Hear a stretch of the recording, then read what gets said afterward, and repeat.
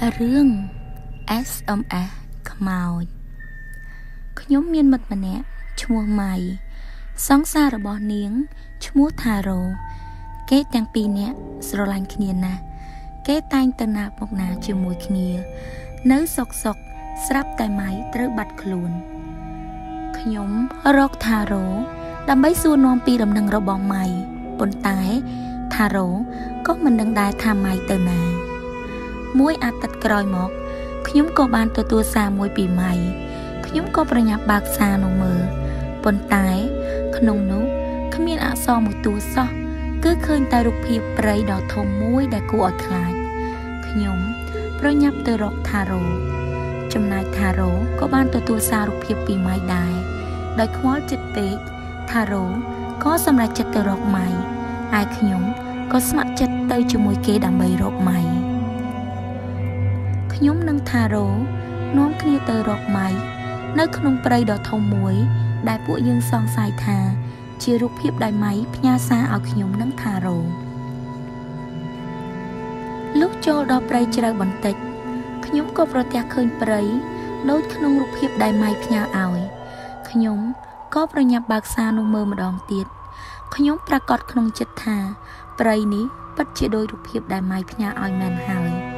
ខ្ញុំ មានអារម្មណ៍ថា មានគេមើលឃើញខ្ញុំនឹងថារ៉ូថារ៉ូមានអារម្មណ៍ដូចខ្ញុំទេ ខ្ញុំសួរថារ៉ូត្រូវហើយ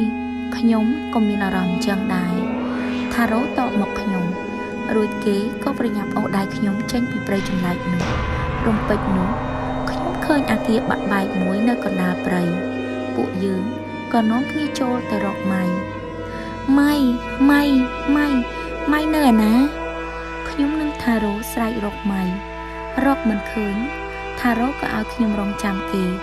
ចំណែកគេក៏ចូលទៅរកម៉ៃនៅក្នុងអាគារនោះគេសន្យាថានឹងត្រឡប់មករកខ្ញុំវិញពេលថារ៉ូទៅបាត់មួយសន្ទុះខ្ញុំក៏ឃើញស្រមោលស្រីម្នាក់ទម្លាក់សក់យ៉ាងវែងតាមមាត់បង្អួចក្បែរនោះពុទ្ធោអើយខ្ញុំដឹងច្បាស់ក្នុងចិត្តថាទីនេះពិតជាមានខ្មោចខ្ញុំភ័យខ្លាចខ្លាំងណាស់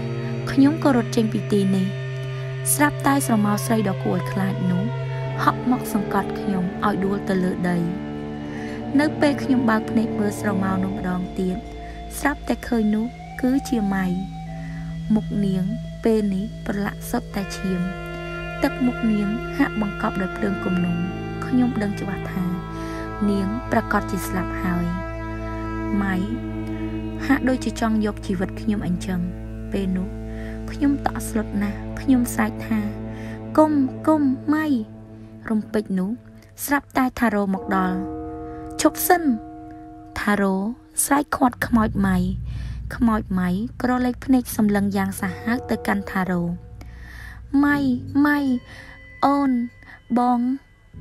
ពោរួចថារ៉ូដើរទៅរកម៉ៃព្រមជាមួយគ្នានោះខ្ញុំក៏ស្រែកខាត់ថារ៉ូគុំ ថារ៉ូម៉ៃស្លាប់ហើយលោកមើលមុខនាងទៅមើលពោពេញទៅដោយកំហឹងសងសឹកនាងមិនស្គាល់ពួកយើងទៅទេ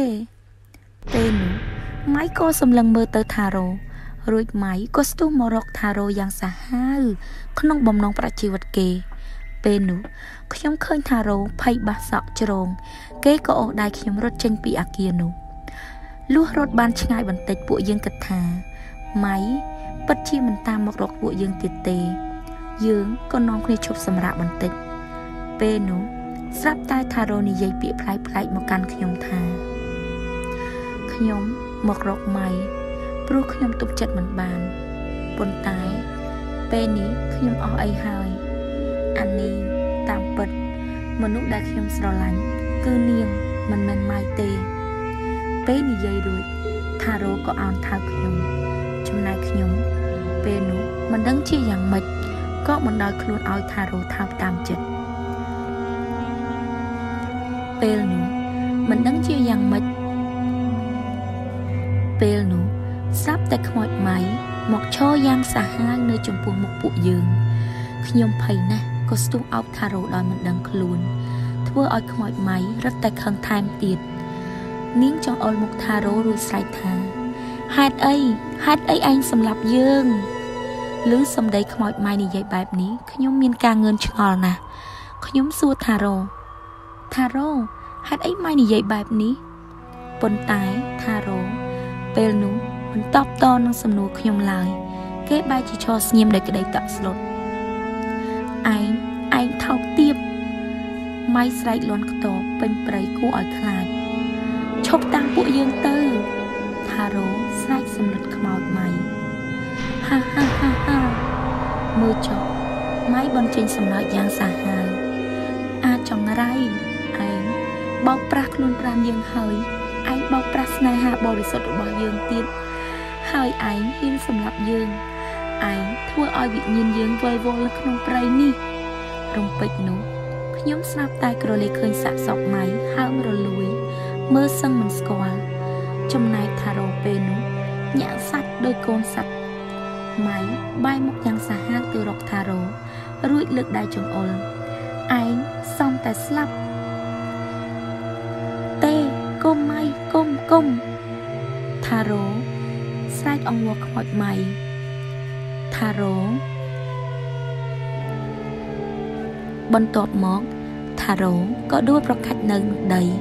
ដៃទាំងពីររបស់គេច្របាច់កខ្លួនឯងយ៉ាងណែនចំណែកខ្ញុំមិនអាចធ្វើអ្វីបានឡើយ គឺបានត្រឹមតែអង្គុយមើលដោយការភ័យខ្លាចនិងគ្មានកម្លាំងនៅក្នុងខ្លួនតែប៉ុណ្ណោះទាំងនេះប្រហែលមកពីខ្មោចម៉ៃបញ្ជាឲ្យមើលទៅ មួយសន្ទុះខ្ញុំឃើញថារោហូរឈាមតាមច្រមុះតាមមាត់រួចក៏ស្លាប់មួយរំពេចឃើញថារោស្លាប់ខ្ញុំភ័យខ្លាំងណាស់ខ្ញុំក៏រត់ចេញពីហេតុការណ៍ដែលគួរឲ្យរន្ធត់នោះខ្ញុំមិនបានគិតសោះថាខ្ញុំត្រូវរួចជីវិតពីការតាមសម្លាប់របស់ម៉ៃ យប់នោះខ្ញុំគិតគ្រប់សកម្មភាពដែលកើតឡើងពីថ្ងៃខ្ញុំគេងមិនលក់សោះខ្ញុំគិតចោះគិតឡើងតែម្នាក់ឯង